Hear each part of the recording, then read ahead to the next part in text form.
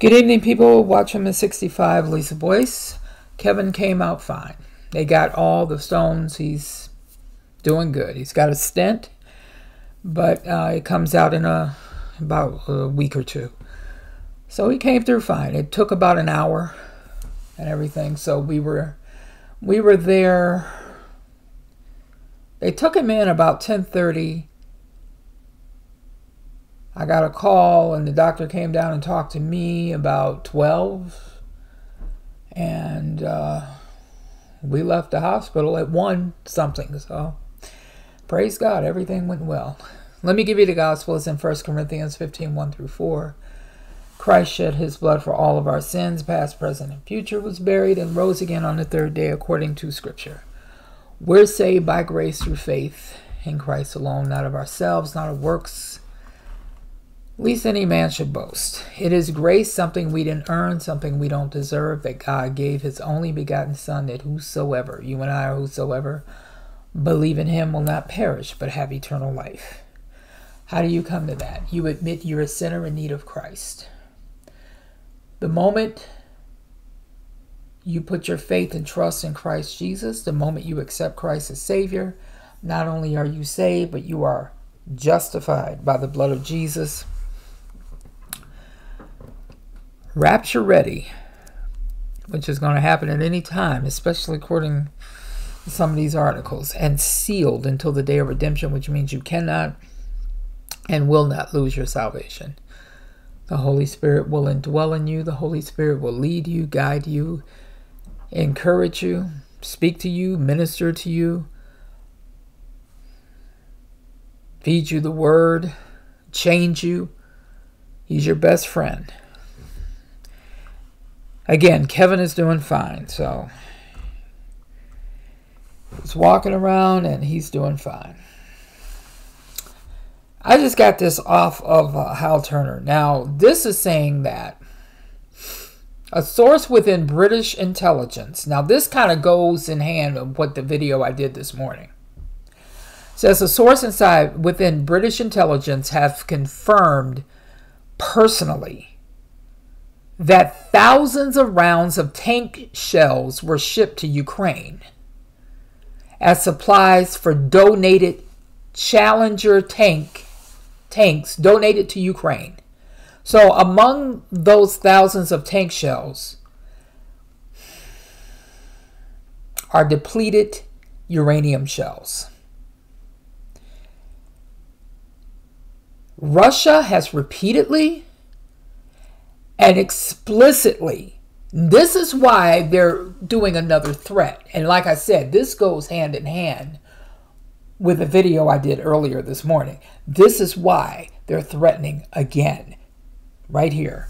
So Russia has repeatedly and explicitly made clear that if depleted uranium shells are fired at Russian troops, Russia will regard the use of the ammunition as being a dirty bomb.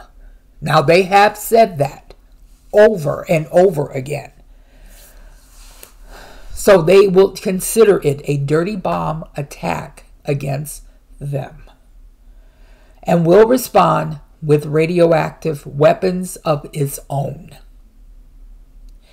They did not say which radioactive weapons, but they said they will respond with radioactive weapons.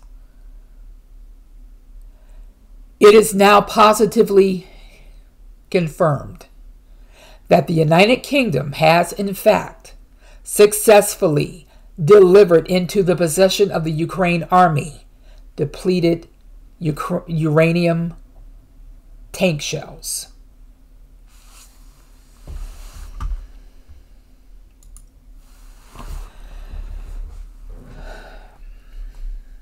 Let that sink in for a minute because, like I said, this goes hand in hand with the video that I did this morning. And I had no idea this was coming out about these uh, depleted uranium shells. I had no idea. But I did find it awfully odd that all of a sudden he's going to issue another warning to the U.S. after weeks go by without saying anything. What this means is, is that now it's only a matter of time before Russia detects that such shells have been used by Ukraine and respond. That response will likely come without any warning at all. That's what they're saying here.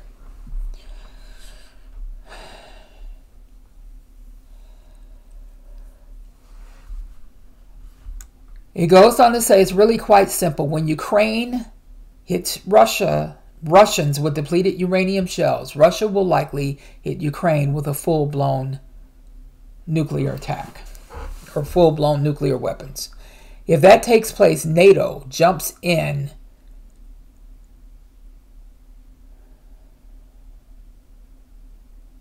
jumps into the war and it's a nuclear apocalypse immediately.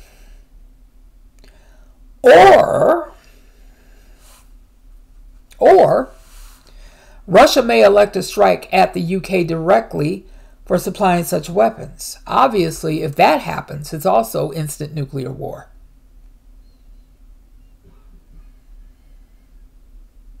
In either case, the fight uh, presently between Ukraine and Russia will likely go nuclear, and it is extremely likely to involve NATO, meaning the outbreak of a literal nuclear World War III is hmm, at any time, which we knew. We knew that. This can come at any time and again without warning.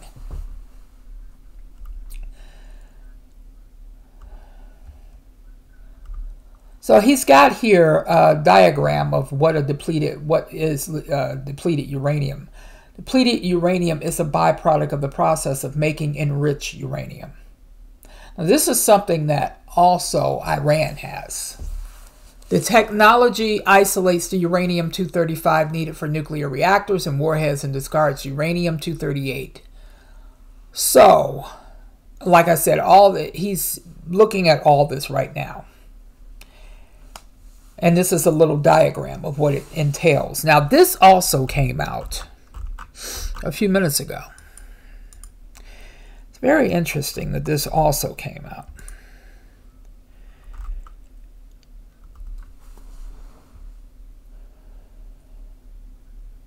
So this came out as well.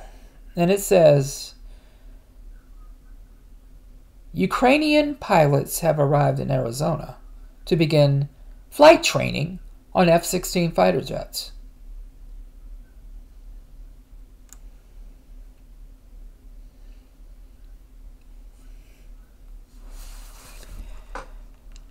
Oh, really now? yeah. They've arrived in Arizona to begin flight training on F 16 fighter jets. The decision to train Ukrainians in the F 16 was kept secret. According to this, even from Congress. From Congress.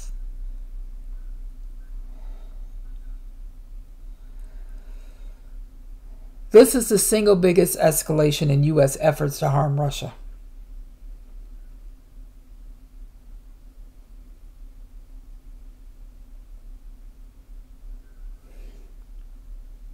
This is serious.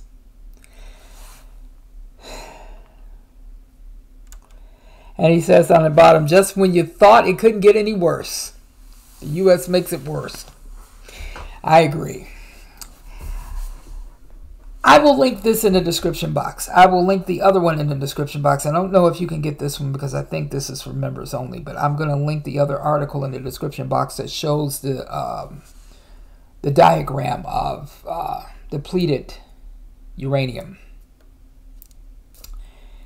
And if anything else comes up, I'll be back.